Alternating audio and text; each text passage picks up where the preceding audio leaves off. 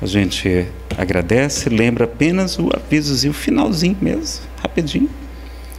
Eu esqueci de colocar no slide, é a, a nossa décima Marcha Nacional de Defesa da Vida, que a FEDEF está participando, ajudando, lá na Esplanada dos Ministérios, a partir das 14 horas, lá no Eixo Monumental. Tá? A concentração em frente à Torre de TV no dia 30 de maio, uma terça-feira, duas da tarde. Fale com seu chefe, peça para liberar do serviço, depois você compensa as horas, ele tem um dever de lhe atender, porque você pode alegar um motivo religioso. Então, a dessa Marcha Nacional pela Vida contra o Aborto do Movimento Brasil Sem Aborto. Sigam nas redes sociais, Brasil Sem Aborto, Facebook, Instagram e no site que está atualizado, brasilsemaborto.org, ok?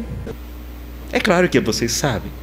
O Espiritismo nos ensina que não existe karma propriamente dito. Não existe karma inexorável.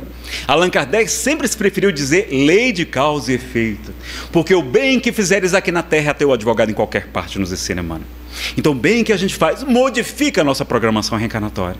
E por isso, na epístola de Pedro 4,8, a gente vai escutar ele ensinando que o amor, a caridade cobre uma multidão de pecados. Se a gente cometeu um aborto, se a gente pagou um aborto, se a gente induziu alguém, influenciou, nós podemos reparar o nosso erro defendendo as mães, as gestantes carentes, as crianças, evitando a legalização do aborto no Brasil, que faria os números multiplicarem ainda mais, com mais sofrimento para as crianças e para as mães, ajudando o movimento Brasil sem aborto participando das manifestações das marchas nacionais de defesa da vida. A última foi agora, dia 15 de fevereiro, quarta-feira. Eu não vi ninguém de vocês lá. Nenhum de vocês. Éramos 15 espíritas só lá. Ainda tá, levei minha mulher ainda para contar. Então, precisamos ajudar. Está aí o Supremo Tribunal Federal, vai legalizar, legislar que não pode dizer que não é crime aborto de criança, de, da mulher que teve zika, apesar que só de 1% de mulher que tem zika tem crianças com microcefalia. A própria pesquisadora que descobriu a microcefalia e a zika, ela é espírita e vai dizer que só 1% das crianças têm microcefalia. Aí não, o Supremo vai dizer, não pode matar, mesmo que só vai, só pode saber se tem microcefalia na quinta, no quinto mês de gestação. Se for ter que abortar, vai ter que ser com mais de cinco meses, um, um aborto tardio perigosíssimo para a mulher e sofrimento imenso para a criança. Então a gente tem que explicar, tem que saber disso, não é? A gente vai ver aqui um pouco mais. Olha aqui, mitos e verdades. Olha aqui como existe uma imprensa. A imprensa é vítima da mentira. Existem pessoas que não são isentas, recebem dinheiro. Recebem dinheiro da Fundação Ford, da Fundação Rockefeller, da Fundação MacArthur, da Planet Parenthood, que é uma clínica abortista nos Estados Unidos que ganha milhões de dólares por ano realizando aborto, e eles querem legalizar no todos os países, sobretudo o terceiro mundo, para que não haja tanto pobre no mundo. E aí agora a gente está vendo o problema da previdência, está tendo todo mundo agora ter reforma de previdência, porque não tem mais, não nascem mais crianças. Não tem mais criança para contribuir, jovens pra, novos para contribuir, todo mundo ficando velho. Aí vamos ver. Primeira coisa, a mentira que eles são só 13. A gente vai aproveitar e tentar terminar aqui no horário, tá? Primeiro, eles dizem que milhares de mulheres morrem por aborto clandestino no Brasil. Não é verdade. Está lá no DataSUS, do órgão oficial do Ministério da Saúde, que o número de abortos totais por ano, de vários tipos de aborto, de eclâmpsia, de criança que morre dentro do ventre da mãe, só morrem cerca de 80, 90 mulheres por ano em todo o país. De aborto clandestino, a doutora Marli Virginia, daqui do GDF, ela fez uma pesquisa. Em 2006, ela investigou, somente foram 12 mortes de aborto clandestino no país inteiro no ano. Se fosse verdade, todos nós tínhamos na nossa família alguém que morreu de aborto clandestino. A gente tinha amigas que morreram de aborto clandestino, parentes. Quem aqui conhece alguém que morreu de aborto clandestino? Clandestino, levante a mão, por favor. Quem conhece alguém? nós somos 200 pessoas aqui. Ninguém. Eu já fiz a palestra mais de 100 vezes. Ninguém levantou a mão. Uma vez só uma mão, uma pessoa levantou a mão. É mentira, não morrem milhares de mulheres. Agora a gente escuta isso, a imprensa repetindo. É propaganda nazista. Uma mentira repetida mil vezes acaba passando por verdade. Agora morrem milhões de crianças em todo o planeta. 50 milhões de crianças por ano nós matamos todo ano. Principalmente porque legalizamos. Mito 2. Ocorre milhões de abortos no Brasil. Não é verdade. Não tem estatística, tem estimativa. E eles sempre aumentam. O doutor Bernard Natterson foi o maior artista do mundo. Mais de 5 mil abortos esse homem fez. Quando descobriram o ultrassom, ele viu um feto, um bebezinho fugindo da cureta. E quando é alcançado, estraçalhado pela agulheta, ele abre a boca dando um grito, um grito silencioso. É o nome do filme, tem na internet, no YouTube, O Grito Silencioso. Se a gente fez um aborto, vamos reparar os nossos erros. Jesus ensina porque muito amou, seus pecados foram perdoados. Vamos dar os abrigos. Não puder adotar uma criança, tem uma, um bebê, se não puder, adote. Se não puder, adote emocionalmente. Visite uma vez por mês um, um abrigo de crianças. Leve carinho, leve orientação. É o que as crianças mais precisam. Elas não precisam de dinheiro, precisam de amor, que é o alimento das almas. E de orientação, de alguém que pergunte como é que está o estudo, como é que está, está frequentando a evangelização e tal. Orientação. Como é bom ter uma mãe, alguém que a gente possa contar no planeta. É? Então, a gente pode fazer. E ele vai dizer que eles multiplicavam os números por 10, por 100, diziam que tinha um milhão de abortos nos Estados Unidos em 1970, o que não era verdade. Eles sabiam que era no, no máximo 100 mil. Mas esse número não interessava para eles. E pela Suprema Corte lá, do mesmo modo que aqui no Supremo Tribunal Federal, estão tentando e vão conseguir legalizar o aborto no Brasil. Os ministros todos estão a favor, quase todos. A gente não pode deixar isso acontecer, meus amigos. O aborto é solução. O aborto, além de matar crianças, somente prejudica a mulher, provoca aumento dos problemas orgânicos, psicológicos e psiquiátricos nas mulheres, como orgânicos, hemorragia, perfuração do útero, infecção, infecção generalizada, morte. Não é? Está nesse livro aqui, Tratado de Econologia, do Williams Hoffman. Mesmo no aborto na clínica, no hospital, com a melhor coisa, pode e acontecem mortes nos Estados Unidos. Vejam o filme Blood Money, está lá no YouTube também, da Estação da Luz investigando, mostrando quantas mortes acontecem dentro dos hospitais, das clínicas, não é? que inclusive vendem os órgãos das crianças. A Planet Parenthood já tem vídeos mostrando eles vendendo fígado, cérebro de criança para pesquisa, para outras coisas. Então, é um problema sério. Olha aí, pode acontecer câncer de mama. Amamentar uma criança é o que mais protege a mulher de câncer de mama. O câncer que mais mata as mulheres é o de mama. E amamentar uma criança protege muito a mulher contra o câncer de mama. Reduz bastante, eu não sei o percentual, então, ó, pode produzir câncer de útero, de ovário, gravidez ectópicas, abortos espontâneos, partos prematuros, síndrome de asma, complicações tardias, frigidez, vai perder o prazer sexual, mulher.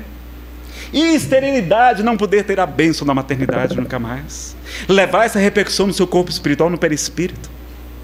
Sofrer no mundo espiritual de obsessões graves. Reencarnar e não poder ser mãe. A semeadura é livre, mas a colheita é obrigatória. Vamos impedir que as nossas. Vamos divulgar. As mulheres têm que ter direito à informação. Isso não é divulgado para elas. Essas pesquisas não são divulgadas porque a imprensa, porque os governos são quase todos abortistas dos países do primeiro mundo. Lá no Uruguai, diziam que tinha mais de 30 mil abortos por ano. Quando legalizaram, viram que não passava de 3 mil. E o número todo ano agora aumenta lá. Está explodindo porque aumenta. Aí a pessoa, não, quando legaliza, diminui. Que mentira a pessoa. A mulher diz, ah, eu vou abortar. Mas agora que legalizou, não vou mais abortar, não. Que maluquice é essa? As pessoas estão abortando como se fosse anticoncepcional. Tem jovens com 18 anos na, na Inglaterra que já abortaram duas vezes. Ah, os médicos estão assombrados com isso. Tem mulheres entrando na justiça, dizendo lá na Suécia, que legalizou há muitos anos, e outros, dizendo que elas estão entrando na justiça na Espanha para condenar o, o, governo que não explicou que se ela cometesse o aborto ia ter depressão, ia ter esquizofrenia, ia ter dependência química, muito mais ricos de suicídio. Não é dito para as mulheres. A gente está aqui em favor das mulheres também, não é só das crianças. Não é? O Espiritismo tem uma única exceção para o aborto, é no caso quando oferece riscos para a vida da mulher. Porque a gente sabe que ela pode ter depois aquela criança. Mas hoje é raríssimo isso acontecer. Com a medicina, a gente conta um caso de um milhão que a gente precisa matar a criança. Né? Ou pode ter o parto prematuro. Criança com 4, 5 meses hoje sobrevive na UTI. Quantos casos a gente tem? Criança com 500 gramas nascendo. Então a gente já viu aqui psicológico, então síndrome pós-aborto, queda na autoestima, sentimento de culpa, frustração do instinto materno, auto-obsessão, que é pior do que a obsessão espiritual, a influência dos espíritos atrasados, a gente mesmo com sentimento de culpa, com sentimento de culpa. É péssimo para a gente isso. Quem puder, assista uma palestra minha chamada Auto Perdão, Felicidade Sem Culpa. Tá ela gravada em, nos DVDs ou no CD de MP3, quem quiser lá fora. Toda a renda é para o Centro Espírito André Luiz. Tem lá sobre depressão e alegria de ver. A gente fala, não é uma palestra só sobre auto-perdão como Jesus é maravilhoso e nos perdoa sempre. Psiquiatros, ansiedade generalizada, neurose, síndrome do pânico, depressão profunda, dependência química, alcoolismo, sete vezes mais índice de suicídio. Abortar, isso não é dito para as mulheres. A mulher tem o direito de escolha, mentira. E em quase 80% dos casos, a mulher é obrigada a fazer o aborto pela família, pelo pai. Ela não é livre. E depois que a criança nasce, todo mundo se apaixona por ela. Ela teve a escolha assim, ela pode escolher engravidar ou não, porque tem anticoncepcional hoje. Tem preservativo, tem tudo. Se a gente legalizar, vai aumentar o caso de AIDS, porque o pessoal já não usa camisinha, vai usar menos ainda. Não é? Depois de gerar um bebê, ela não pode matá-lo, pois o corpo dele não pertence. É outro DNA. É filho do pai, não é filho dela também só, não. Por que, que ela tem o direito de matar? Não. Chico vai dizer que é um aborto, é um crime difícil de ser né, caracterizado, de ser entendido, porque a vítima não pode se defender. A criança não tem como se defender. E tem um espírito lá, desde a concepção, nos ensina o livro dos espíritos. Não é? Ah, vamos legalizar o aborto pelo SUS. O SUS está morrendo criança com paralisia cerebral porque não tem leito de hospital para elas nascerem. Porque não tem lugar. A gente vai separar os leitos agora para colocar, para matarmos nossas crianças. Nazarena, porque as mãezinhas estão morrendo, é perigoso, o aborto é seguro. Ah, então vamos fazer o seguinte: vamos dar colete de balas, prova de balas, e fuzis para os estupradores, porque eles estão também matando as pessoas, estuprando com muito risco para eles. As crianças também criminosas, vamos dar colete de balas e fuzis para eles, para eles poderem matar em segurança. Olha que absurdo que a gente quer fazer. Quer dar meios para as pessoas cometerem crimes em segurança? Não vamos impedir, agora vamos apoiar também as crianças, as mulheres, como a gente quer ver aqui. O aborto diminui as mortes maternas. Mentira também, porque na hora que legaliza, o número de abortos duplica, triplica. Aí aquele número, como é mais seguro, mas mesmo assim acontece mortes, o número de mortes acaba ficando equivalente, mais ou menos equivalente. O que diminui a mortalidade moderna é assistência, é pré-natal, isso tudo. Legalizar o aborto diminuiu a prática. Todos os países onde pesquisou, todos, Suécia, Estados Unidos, todo, o aborto explodiu. Só não aumentou mais, você sabe por quê nos últimos anos? Por causa da pílula do dia seguinte, que é também, na maioria das vezes, abortiva. Estão abortando com pílula do dia seguinte e porque as, os números são mentirosos. Eles diziam que era um milhão, quando era só 100 mil, quando legalizou. Está vendo? Só deu 100 mil. Quando legalizou, diminuiu. Não, é porque era mentiroso o número, a estimativa para conseguir legalizar. E a imprensa não questiona. Não tem estatística, não tem censo de aborto no Brasil, nem em quase lugar no mundo. Então aumenta. A pílula do dia seguinte não é abortiva, é abortiva porque depois de algumas horas acontece a fecundação. Então, se tomada após algumas horas, provoca aborto. E é uma bomba de hormônios, prejudica a saúde da mulher. É 10 vezes mais a quantidade de hormônios do que uma, uma, um anticoncepcional comum. Né? Diminui a taxa de natalidade, já vimos aqui, não é verdade, não é? A pessoa sabe disso. O aborto de anencefalo preserva a saúde da mulher. Não, o trauma do aborto é, é maior do que ter uma criança. Mesmo que a criança não, não viva, que viva alguns segundos, alguns minutos, a mulher não foi quem a matou. Não fica com sentimento de culpa. Lamenta, claro, a perda de um filho. Mas quantos espíritos vão reencarnar ali, mesmo que seja alguns meses, alguns dias, algumas horas, para ter a bênção do esquecimento, para recompor o corpo espiritual que estava completamente danificado por causa, de vez, de um suicídio, de um tiro na cabeça. Por isso, muitas vezes, a microcefalia e a anencefalia, aliás, né? É necessário salvar, matar, abortar para salvar a mãe. Hoje não precisa mais, é muito raro isso. E o último mito: gestão a criança deficiente físico ou mental prejudica a mãe. Não é verdade.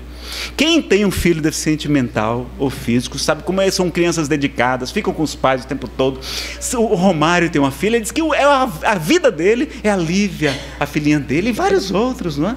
A gente sabe disso, Diogo Mainardi e tantas outras pessoas que têm filhos, não é?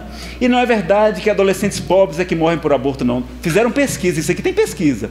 A mulher que aborta no Brasil tem entre 20 e 29 anos, trabalha, tem um parceiro, é casada e pelo menos um filho já tem está fazendo aborto para não ter mais filhos.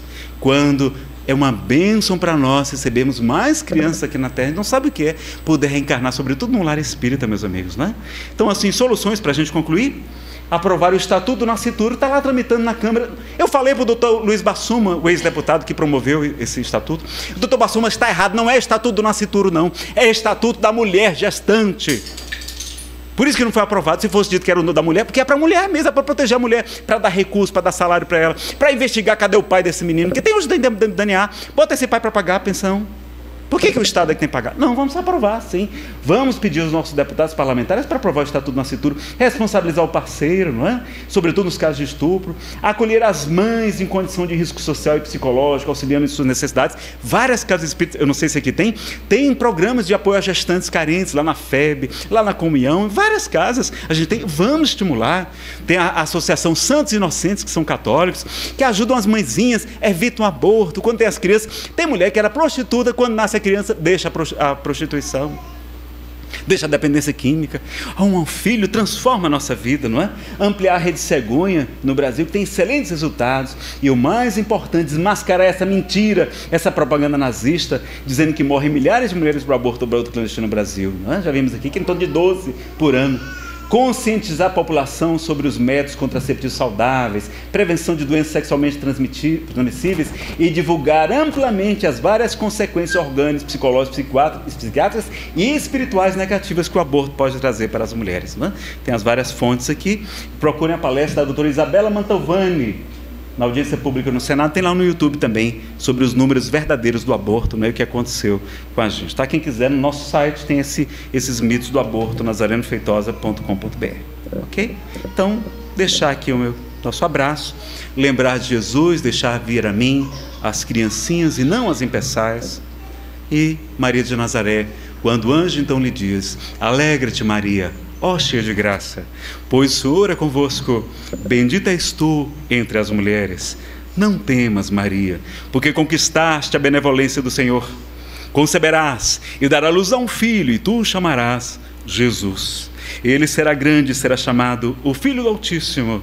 E com a resposta daquela criança, ela devia ter 13, 14, 16 anos de idade. Eis a serva do Senhor, faça-se em mim conforme a sua vontade. Não é? Então, lembrando de Maria de Nazaré, vamos terminar com a poesia de Amaral Ornelas. Pode até já se vir como prece, vai fazer a prece ainda, não é? Ave Maria, Senhora, do amor que ampara e redime, ai do mundo se não fora a vossa missão sublime. Cheia de graça e bondade, é por vós que conhecemos a eterna revelação da vida em seus dons supremos. O Senhor sempre é convosco, mensageira da ternura, providência dos que choram, nas sombras da desventura.